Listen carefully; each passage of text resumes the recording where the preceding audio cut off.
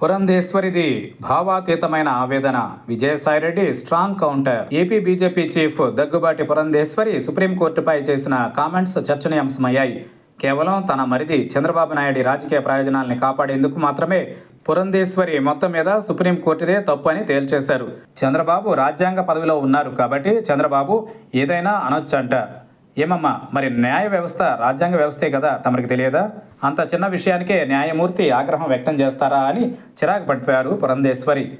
ఆమెది భావాతీతమైన ఆవేదన అనుకోవాలి మరి. కోర్టులో దేవుడి కంటే చంద్రబాబే గొప్పవాడు అన్నట్లుంది ఈమె వైఖరి. ఈ వందేళ్ళలో తిరుమల ఆలయానికి నారా నందమూరి చేసిన డ్యామేజీ ఇంకెన్ని ఘోరాలు చూడాలు. చంద్రబాబు హిందువుల మనోభావాలను లడ్డూ ప్రసాదాల విషయంలో దెబ్బతీయడమే కాకుండా మత విద్వేషాలను రెచ్చగొట్టే విధంగా వ్యాఖ్యలు చేశారు. విజయసాయిరెడ్డి సోషల్ మీడియా పోస్ట్పై బీజేపీ టీడీపీ ఎలా స్పందిస్తాయో చూడాలి. గత కొన్ని రోజులుగా చంద్రబాబు లోకేష్లపై విజయసాయి ఘాటైన పోస్టులు పెడుతున్న సంగతి తెలిసిందే.